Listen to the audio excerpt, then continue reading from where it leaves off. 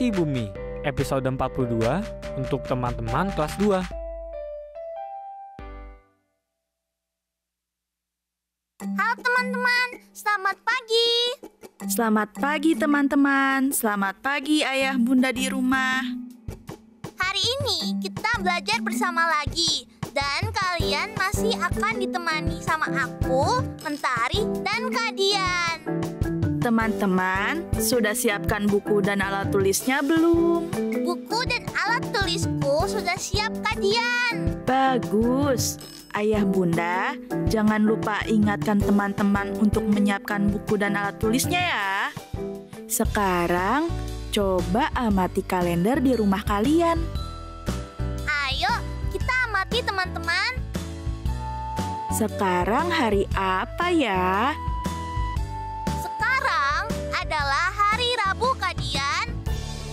Lalu, tanggal berapa hari ini?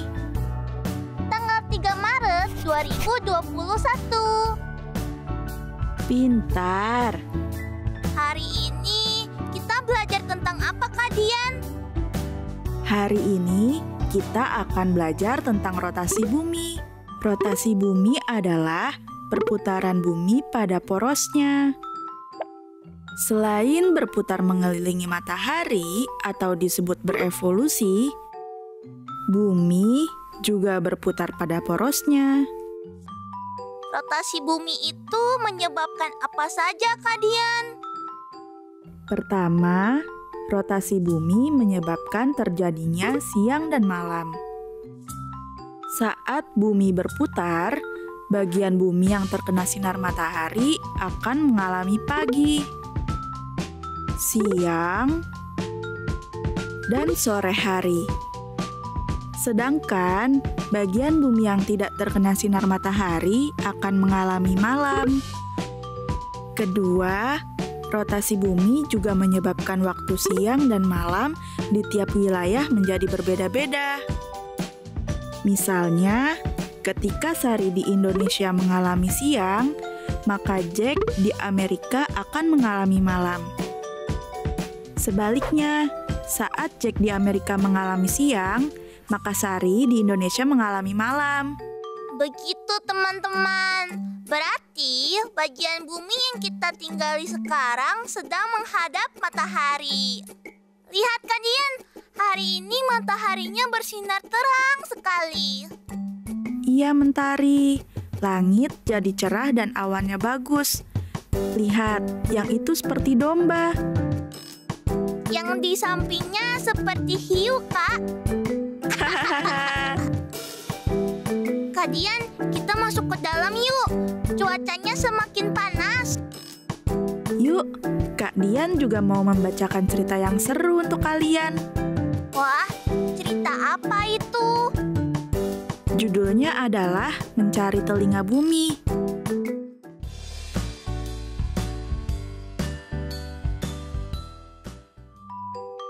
Mencari telinga bumi. Aku menyukai apa pun yang berputar. Menurutku, berputar itu mengasyikkan. Lihat tawon itu, ia berputar dengan indah. Namun, ketika aku berputar menirukan tawon itu, jangan berputar-putar, nanti kamu pusing, kata ibu. Padahal ibu pernah bilang, siang malam itu terjadi karena bumi berputar. Orang dewasa memang aneh. Wah, aku jadi penasaran. Aku ingin bertanya, apa bumi pernah pusing karena berputar terus? Iya, aku harus bertanya. Tapi bagaimana caranya ya?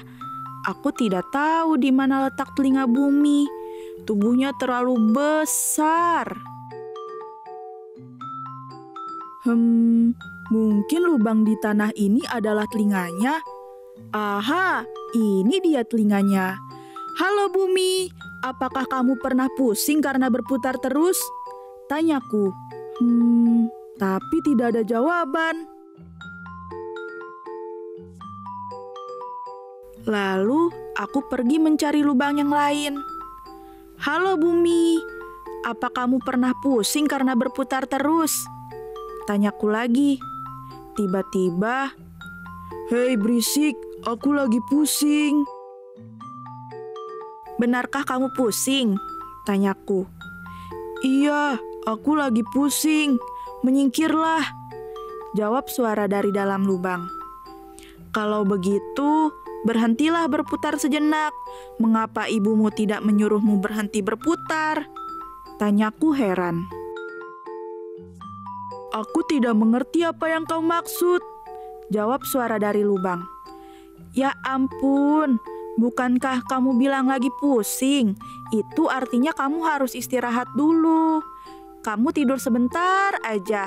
Aku kasihan padamu. Apa maksudmu? Aku tidak mengerti. Ucap kodok tiba-tiba sambil melompat dari dalam lubang. Oh, maafkan aku kodok kecil. Aku kira suaramu itu adalah bumi. Aku hanya ingin bertanya, apakah bumi pernah pusing karena berputar terus? Kamu ini ada-ada saja. Kalau bumi berhenti berputar, tidak akan ada siang dan malam dong. Bumi tidak pernah pusing loh. Bahkan bumi sangat senang. Ia bisa membahagiakan anak-anak untuk menikmati keindahan siang dan malam. Jawab kodok. Aku pun mengangguk mengerti. Wah, terima kasih bumi. Teriakku senang. Wah, ceritanya bagus ya teman-teman. Ternyata tadi itu bukan suara bumi, tapi suara kodok. nah, sekarang saatnya kita latihan menulis. Ayo siapkan lembar kerja dan alat tulis kalian. Kita akan menulis kata-kata yang tepat untuk melengkapi kalimat-kalimat ini.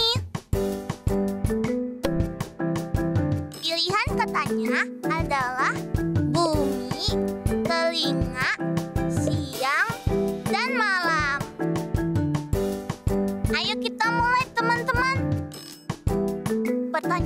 nomor satu. Jawabannya apa ya?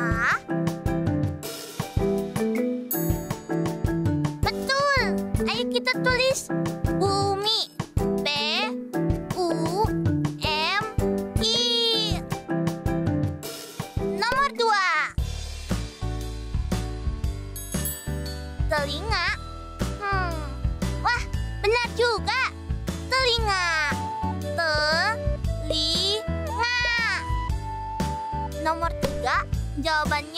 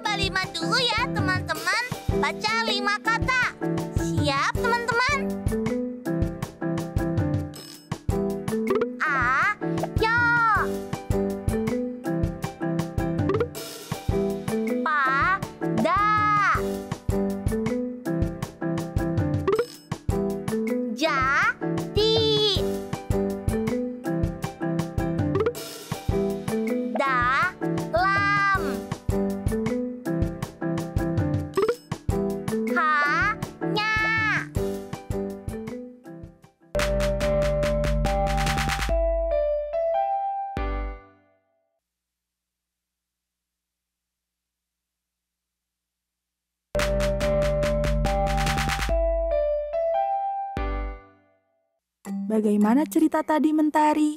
Kamu suka? Aku suka kalian ceritanya bagus dan lucu. Ternyata biarpun berputar terus, bumi itu tidak pusing ya. Betul. Nah, sekarang kita mulai belajar menghitung yuk.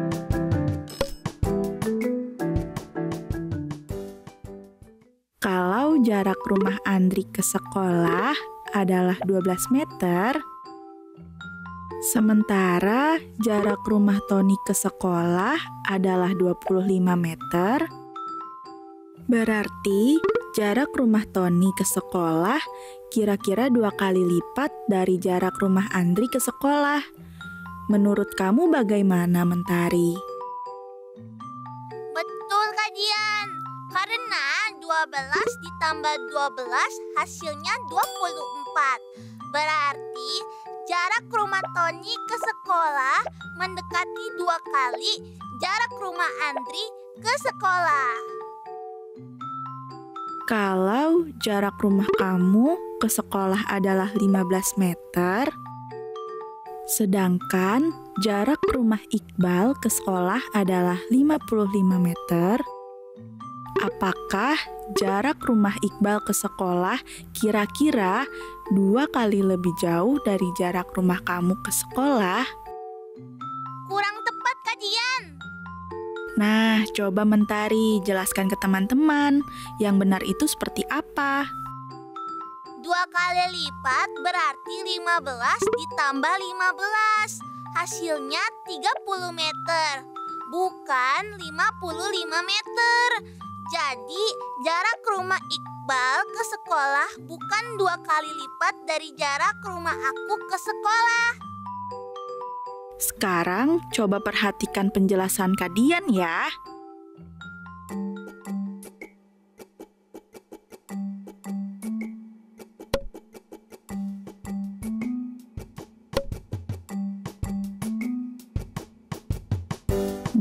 Berputar mengikuti porosnya selama 24 jam.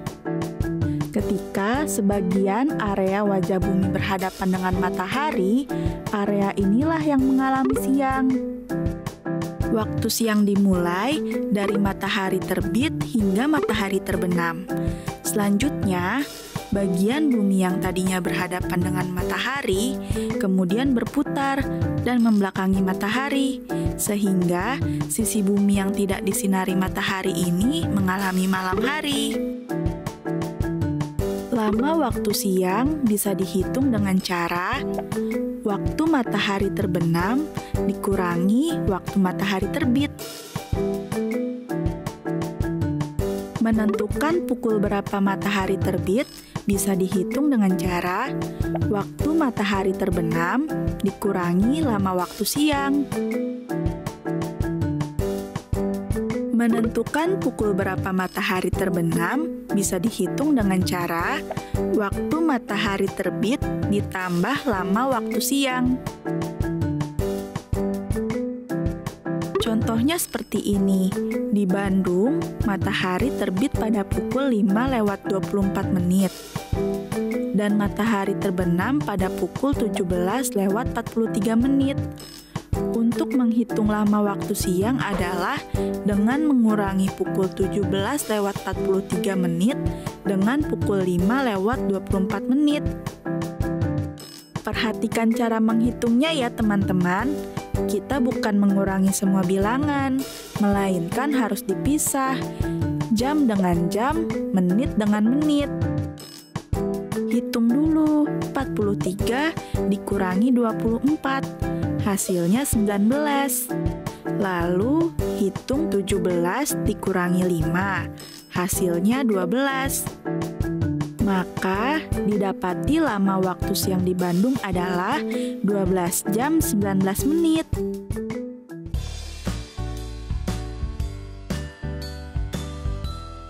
Teman-teman, apakah kalian sudah paham dengan penjelasan kajian tadi?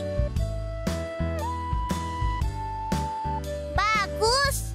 Tapi aku tetap ulangi saja ya supaya kalian menjawab soal-soal dalam latihan nanti. Lama waktu siang bisa dihitung dengan cara waktu matahari terbenam dikurangi waktu matahari terbit. Menentukan waktu matahari terbit bisa dihitung dengan cara waktu matahari terbenam dikurangi lama waktu siang.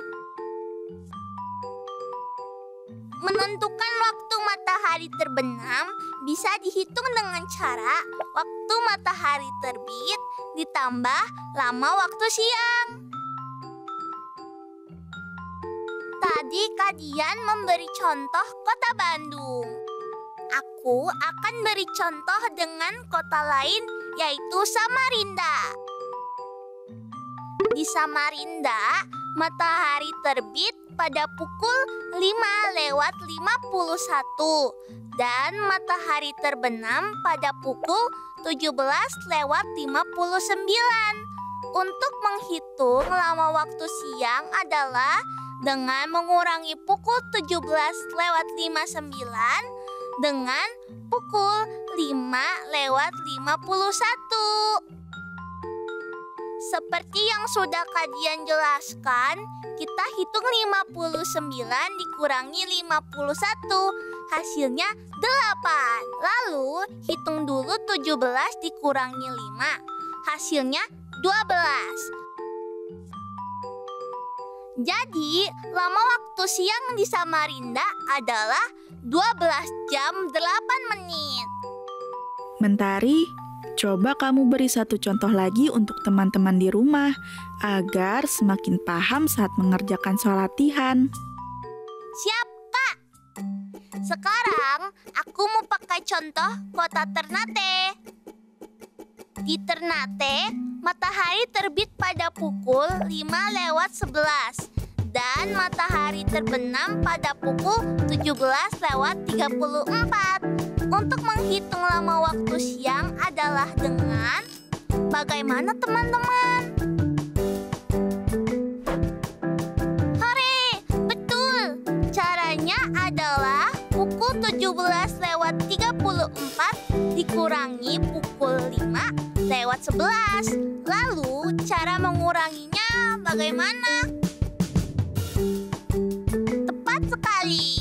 Hitung dulu 34 dikurangi 11 hasilnya 23. Lalu hitung 17 dikurangi 5 hasilnya 12. Jadi, lama waktu siang di Ternate adalah 12 jam 23 menit.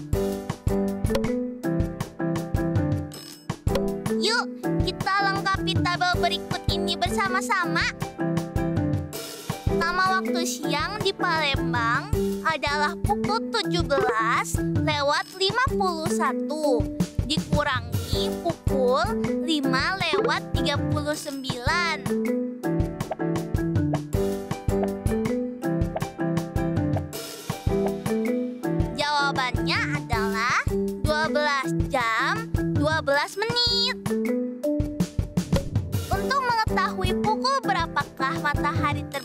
Semarang adalah dengan menjumlahkan pukul 5 lewat 12 dengan 12 jam 20 menit.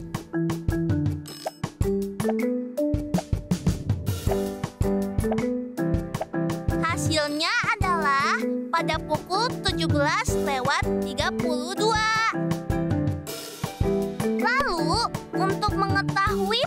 Berapakah matahari terbit di Gorontalo adalah dengan mengurangi pukul 17 lewat 34 dengan 12 jam 5 menit.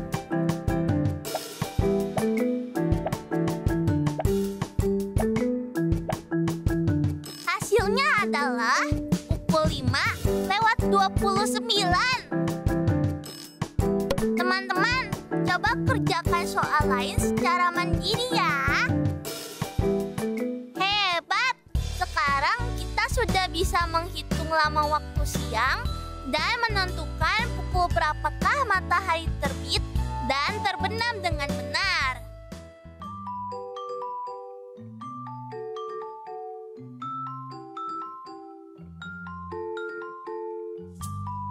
Selamat pagi teman-teman.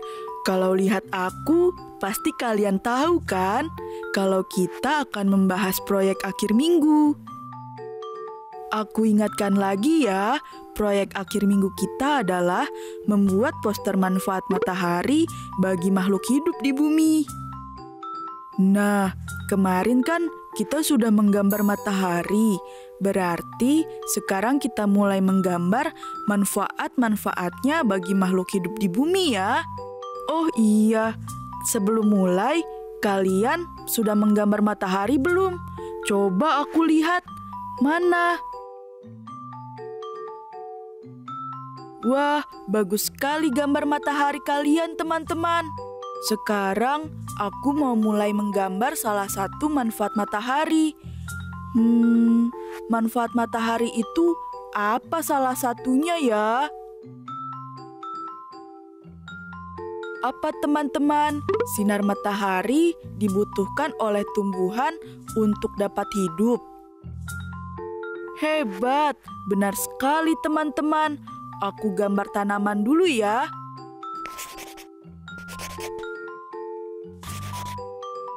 Ini hasil gambar aku, teman-teman. Bagaimana? Bagus kan? Besok kita jumpa lagi dan kita akan lanjutkan dengan menggambar manfaat lain dari matahari bagi makhluk hidup di bumi. Sampai besok, teman-teman.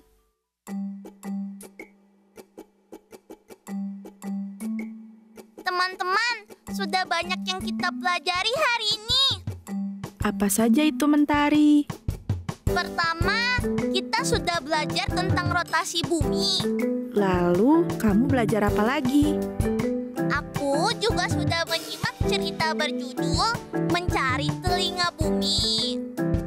Menulis kata yang tepat untuk melengkapi kalimat-kalimat dan baca lima kata. Lalu, aku juga sudah belajar menghitung perkiraan jarak dan menghitung lama waktu siang hari. Pukul berapa matahari terbit dan pukul berapa matahari terbenam. Bagaimana perasaan kamu tentang pelajaran hari ini? Aku senang sekali kalian. Pelajaran hari ini pasti akan bermanfaat buat aku dan buat kalian juga teman-teman. Nah, teman-teman, sampai di sini dulu ya pelajaran kita hari ini. Iya teman-teman, besok kita belajar sama-sama lagi ya. Jangan lupa saksikan acara ini besok. Sampai jumpa. Sampai jumpa teman-teman. Sekarang tetap belajar dari rumah ya teman-teman. Jaga jarak, rajin cuci tangan, dan pakai masker agar kita mencegah penyebaran COVID-19. Sampai jumpa.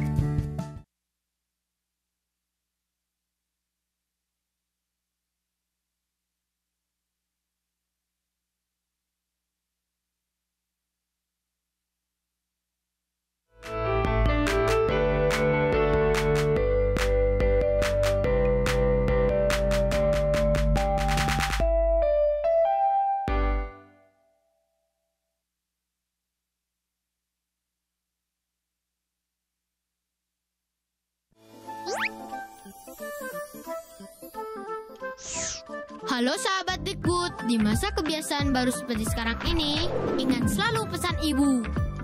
Keluar rumah kalau penting saja ya nak, ingat untuk selalu 3M. 3M itu mudah dilakukan dan bisa mencegah penyebaran virus corona. Menggunakan masker, mencuci tangan dengan sabun dan air mengalir, menjaga jarak. Dikbud, kalau kamu sayang keluarga, jangan bawa virus ke rumah ya. Ingat pesan ibu, ingat 3M.